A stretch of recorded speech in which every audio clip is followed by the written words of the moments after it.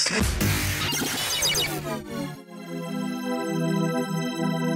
demystify what goes on behind the therapy room door. Join us on this voyage of discovery and co creative conversations. This is The Therapy Show, Behind Closed Doors podcast, with Bob Cooke and Jacci Jones. Welcome back to the next episode of the Therapy Show Behind Closed Doors with myself, Jacci Jones. And instead of the wonderful Bob Cooke, I've got my bestie, Julie Lewis, and we're going to talk about the growth of equine therapy because that's something that we both do. I'm the people person and Julie's the horsey person. Um, so, to just introduce yourself and say a little bit about what you do? Yeah, I'm Julie Lewis. I'm a BHS um, AI, so I'm an instructor that's how it all starts, I suppose. So I not only teach riding and teach people how to look after their horses and look after horses and train horses and do all that kind of thing. Um, I also work with equine guided therapy, which is horse therapy, not for the horses, for humans via the horses. So Jacci and I both work together doing that. Yeah. There you go. Absolutely. And it's it's relatively new in this country, isn't it? I think it's been going in mm-hmm. America for a lot longer. And you went on a holiday in America. I'd asked you about this years ago. and you were like, no, nobody's going to want that. And then you went on holiday to America and came back and you were like, actually, maybe. Yeah. Yeah, I went on a holiday, on a ranching holiday, which was nothing to do with equine therapy or anything else, but it happened to be a retreat which dealt with all kinds of people with all kinds of issues, problems, worries, concerns. And on that retreat, they did a lot of equine guided therapy stuff. Um, and so I, I spent a, a week or 10 days there with the lady that was running that and sort of getting very deep into what, what goes on and seeing some of the results and talking to her kind of made me think, go on then, I will, Jacci, you've been nagging me for ages, so let's bring this to the UK. There are a few people out there already doing it, but it's relatively unheard of. I think it's getting better. Yeah. Um, Kate Moss, or one of them, one of the models has got into it as well and supporting. So it is getting bigger and bigger. Stella McCartney, it's, evidently, as well. She's started doing. That's it, right. Yeah, yeah. Stella yeah. McCartney, but there's, there's there's a lot of big names doing it. Not that it needs a name. No. Um, that need it, need it, and it, a lot of people don't know they need it until they've done it. Um, and it's it's I my background in horses is very different, obviously, and as you said, Jack, I wasn't really really ready to take this at yeah. all. I was a bit kind of, mm. and I still I still don't do psychotherapy. I'm not a psychotherapist. I don't know how it works with the psyche. What I do know is the magnetic field that horses have and the impact that horses have that we've seen with our clients is is astounding every We've time. Seen it literally every single time. It astounds me.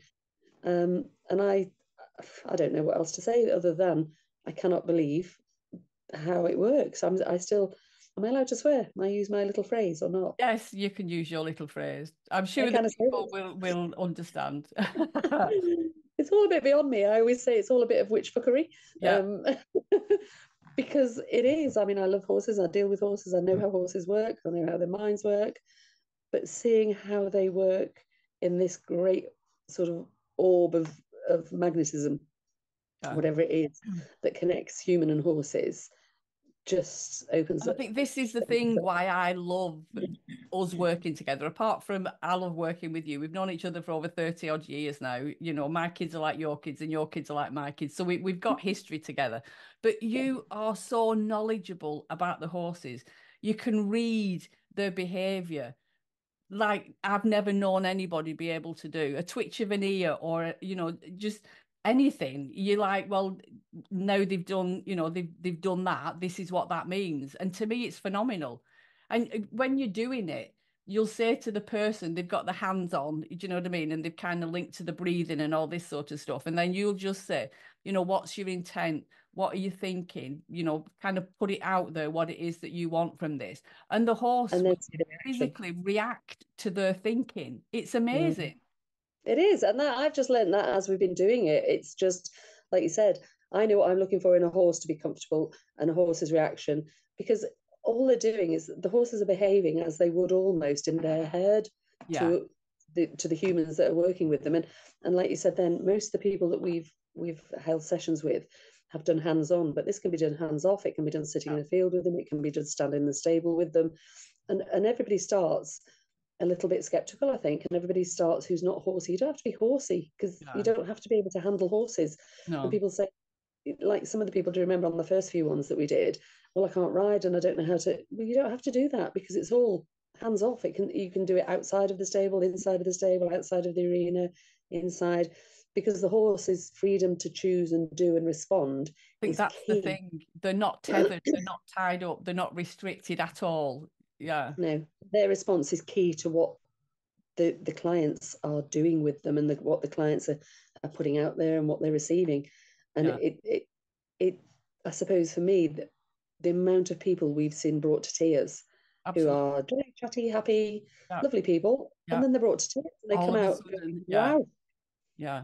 Yeah. And, and, it's different. You know, what we do is equine guided therapy. And literally, that's we're guided by the response and the reaction from the horses to that's right. the person that we're working with.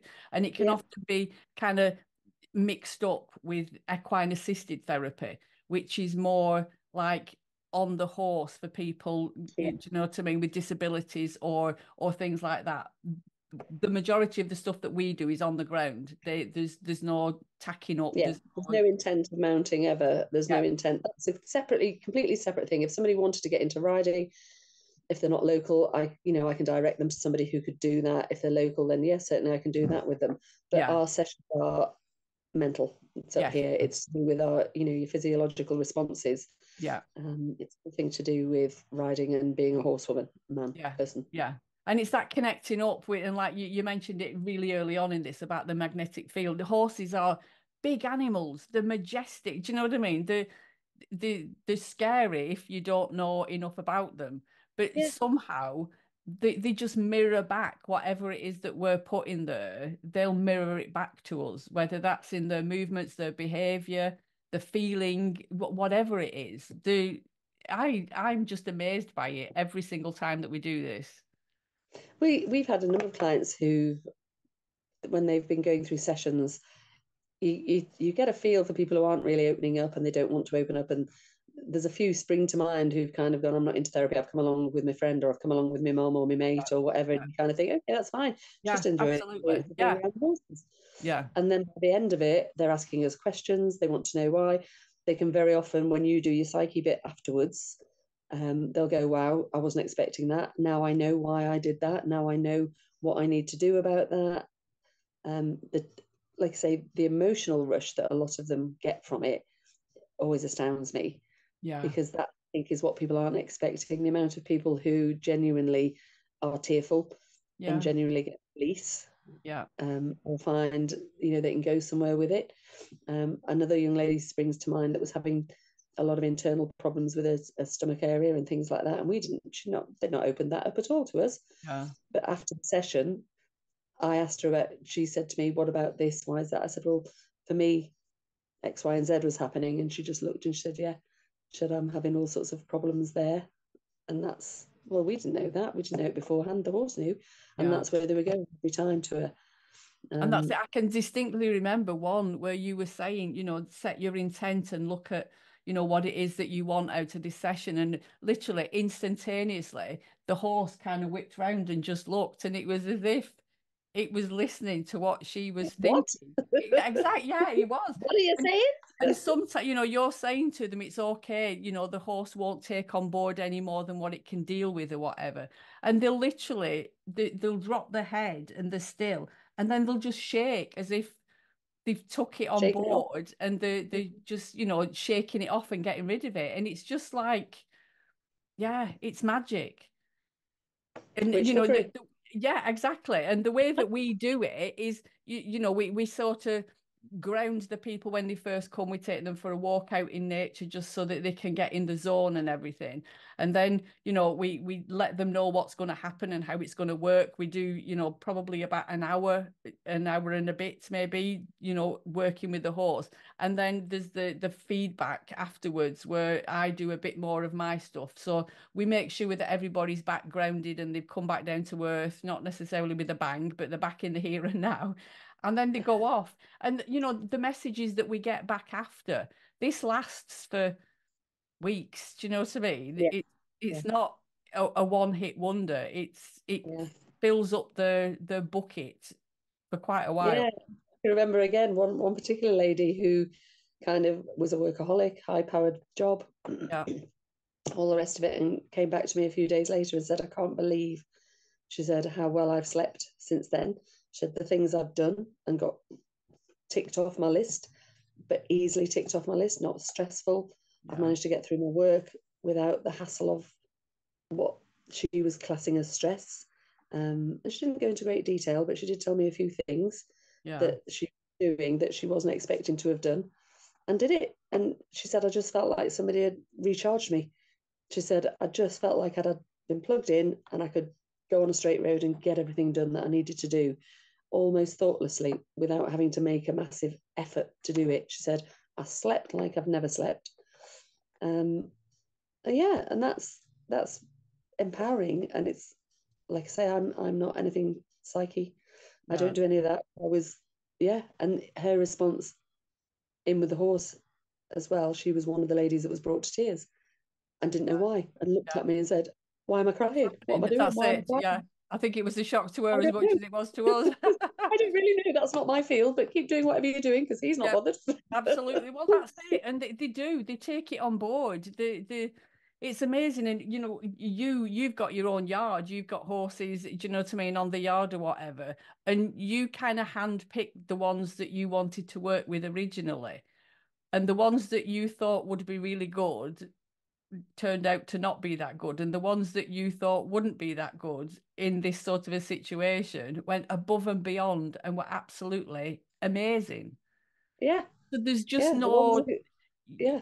you know and we go usually in the stable sometimes we take people in individually but sometimes there's two people in there and the horses go to whoever they want to They- they're not forced into doing anything some get all the Mm. attention and others get none you know and they literally turn the body away from them for and they'll go whatever where the need reason. is and they react like that as well. You know, if there's a need, yeah they'll, they'll go and take it. It's almost like, come on, yeah Harry yeah the Hugger springs to mind. He's on one of our pictures. That's it. Well, he's, he, I don't know if you can see over there, if you're watching this on on at YouTube or whatever. There's a poster there, and he literally hooks people in and hugs them. It's phenomenal. You know the way that they respond and react. Mm.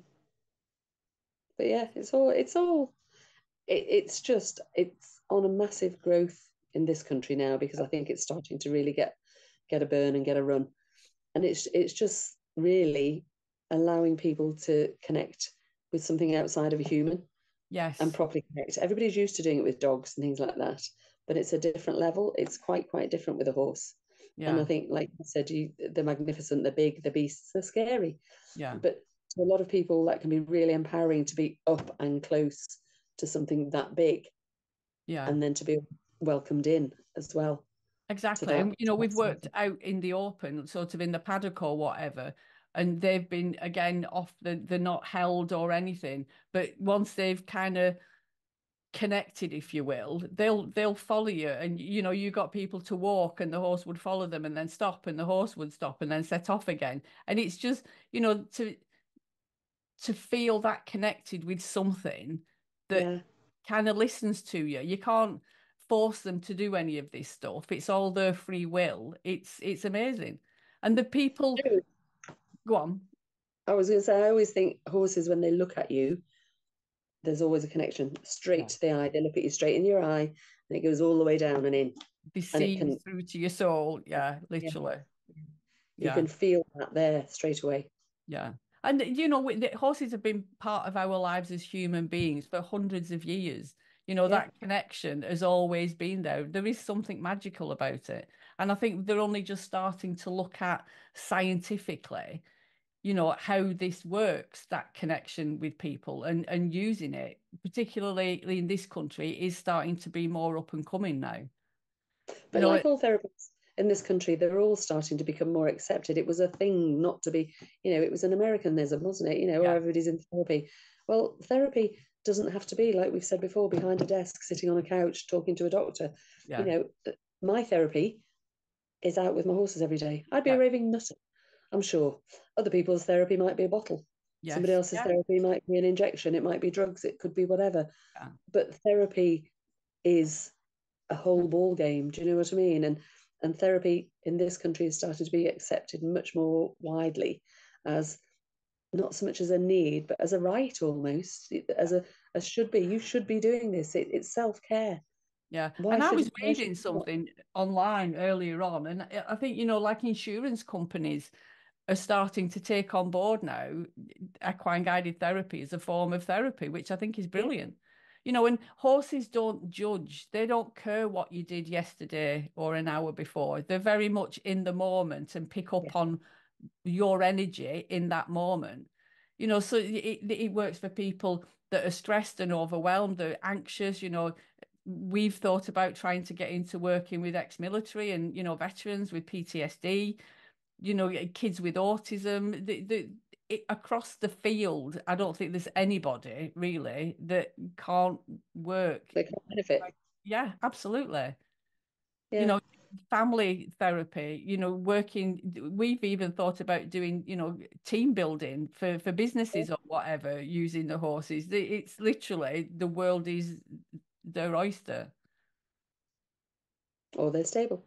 Absolutely, absolutely. and I just wanted to mention before we, we we kind of finish on this that you know in November we are going to be doing a session at Bob's um conference that he's doing in Sale all about equine guided therapy. We've got two hours where we're going to be talking about this. Two hours to bore everybody witless. Which is interesting because it's it's something that neither one of us have done. So if you want to come along and do that, then buy a ticket off Bob. I'm sure he'll be advertising it on the website or whatever. But yeah, we will be there um talking about the things that we've been sharing some information on today. Yeah, we will. So yeah, you can you can contact Julie um through equineguidedtherapy.com if you wanted to know anything more about this. But yeah, just just check it out. Check out equine guided therapy and see what you think. So thank you so much for coming on this, Julie, and being a guest. Um yeah. All right. Speak to you all soon. Okie doke. Take care. See you in a. Bye. Bye. You've been listening to The Therapy Show, Behind Closed Doors podcast. We hope you enjoyed the show. Don't forget to subscribe and leave us a review. We'll be back next week with another episode.